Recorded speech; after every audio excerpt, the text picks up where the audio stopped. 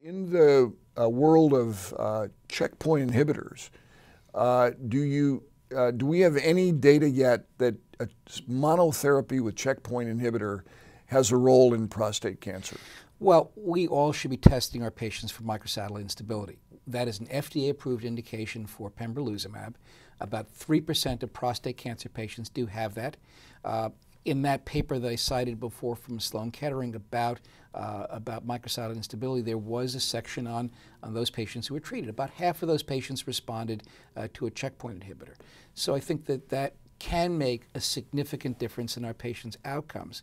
And Chuck Ryan has got a case which I think is very, very interesting about a patient who had a complete response uh, to a checkpoint inhibitor who was uh, microsatellite unstable. And now he doesn't know what to do as to far as to whether he should continue treatment or not and whether this patient right. should stop hormone therapy. Yeah, so, one of my friends, uh, David Shaffer in uh, uh, Albany, has a similar case where he gave uh, atezolizumab uh, in an earlier trial. That was an atezolizumab enzalutamide trial, which you may want to comment on. Mm -hmm. And the patient is in a five-year remission. Um, and there's no clear uh, genetic reason for him to be in this remission.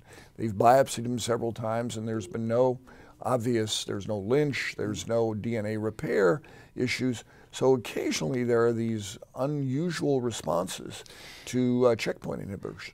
I, think we, we underestimate, we think about a drug's mechanism as, as being monolithic. The kinase inhibitors inhibit multiple kinases. Abiraterone, as we talked about before, can downregulate DNA repair. Enzalutamide, a couple of years ago, surprisingly has an immune modulatory effect. Mm. And Julie Graff from uh, Oregon has actually exploited that particular observation, looking at combinations of pembrolizumab plus enzalutamide and showing that there is significant activity between the two. Um, now, there was a randomized trial of atezolizumab uh, with enzalutamide. Unfortunately, it's only been repeat, re reported in press release form at this point. It was negative. But again, it, it emphasizes the fact that we cannot treat all comers. We have to understand the biology and tailor our treatments for individual patients. So as I understand it, Merck is looking at a number of uh, combination trials. Right.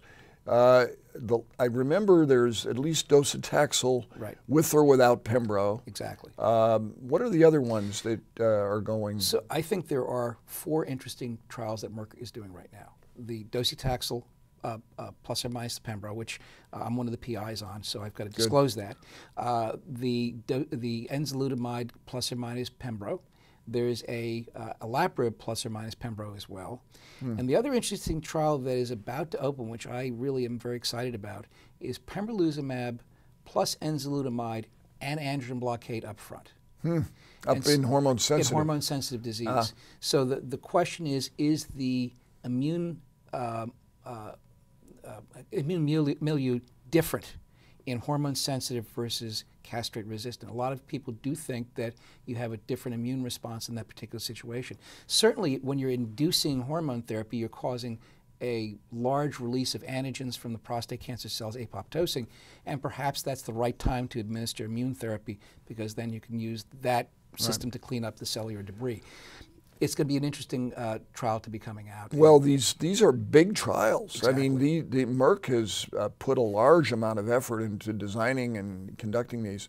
There are some negatives. Uh, one, for example, is that it's a placebo controlled. Right. So the enzalutamide trial, there are patients getting placebo, uh, uh, Pembro. Um, and we'll, we'll see if the patients accept those kind of restrictions. And again, talk about the full gamut of these trials. Nivolumab is also being looked at in a randomized trial, uh, Nivo plus Dosi versus Dosi alone, docetaxel alone. So there are a number of different trials that are out there looking at immune checkpoints.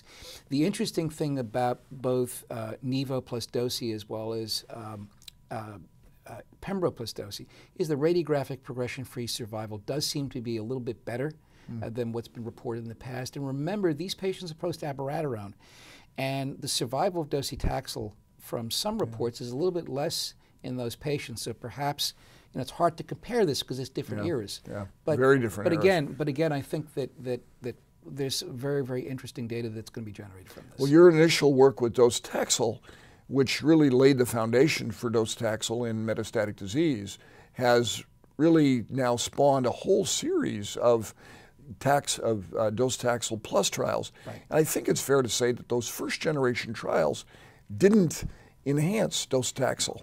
So what what's your what's your perspective? Are we barking up the same tree again, or is this a different?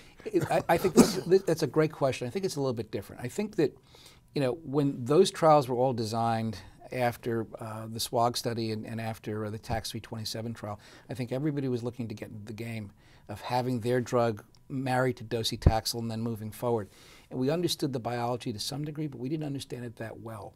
Now I think we're really understanding the biology better. Docetaxel is still a great drug for this disease, and uh, it's hard to knock it off as a uh, comparator arm. Uh, so you really got to move the bar up much, much higher uh, to, to see a, So you're you're uh, if you're a betting man, uh, are you going to bet that they're that the immune checkpoints are going to add something to docetaxel? I'll bet on that, but you know the other line too is that one in 20, 20 trials are going to be positive Yeah. based upon statistics. so we've got to have one positive study. But no, I, I think that there's good reason to be optimistic with these.